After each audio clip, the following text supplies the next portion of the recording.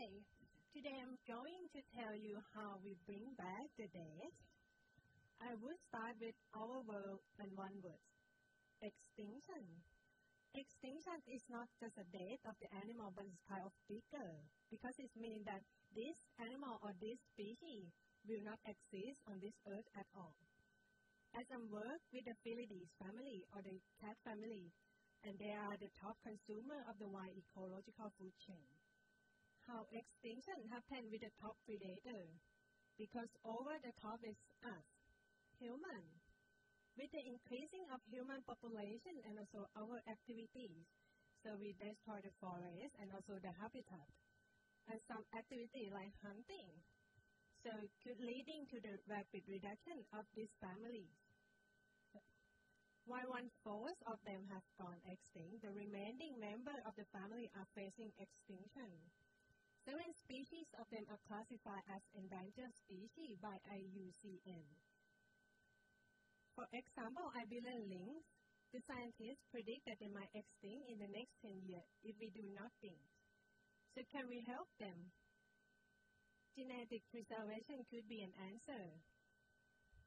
We know how to collect the semen or the sperm from the live animal, right?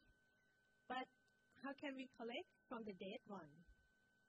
It's possible to do that by collecting spermatozoa from the transportation duct. The transportation duct is the the tube that connect between testes until the the sperm go outside. But nowadays they collect only one part that the sperm pool are mature. So our research, we want to know that is it possible to preserve more sperm from other regions of the transportation duct? And we found that it's possible to preserve from the body because the sperm are similar from the, the, from the tail of the transportation duct. So they mature, uh, they can produce the test tube kitten. And they can preserve a liquid nitrogen, so we can preserve as long as we want. And we found that if we preserve together a body and tail, we can increase the number of the sperm about 40%. So remember, the more sperm we got, that means more chance we can produce the offspring. Thank you.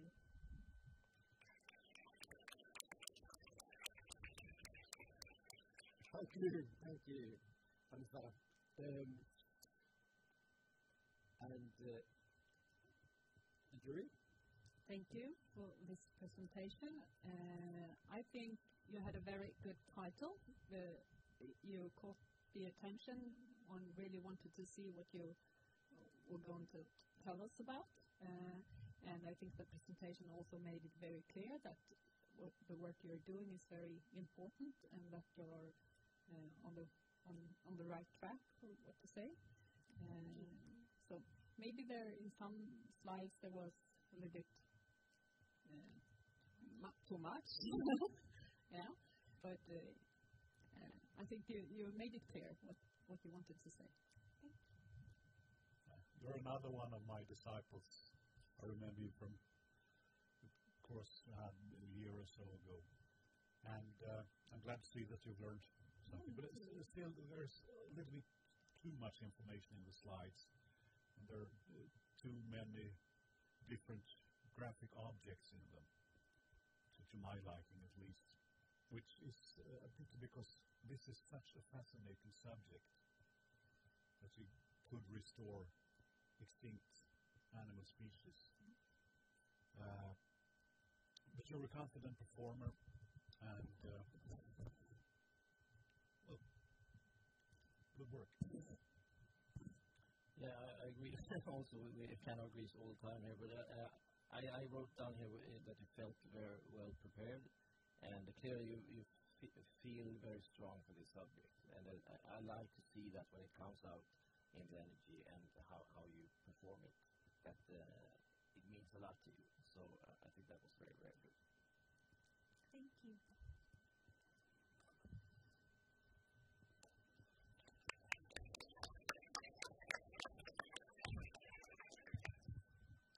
Hello. Uh, okay, Magnus, collect, collecting the, the votes over there. And you've got your phones up and ready. So, please. vote for Panisara. Couldn't you did that? And we got a seven, seven, and seven from the jury. Three sevens.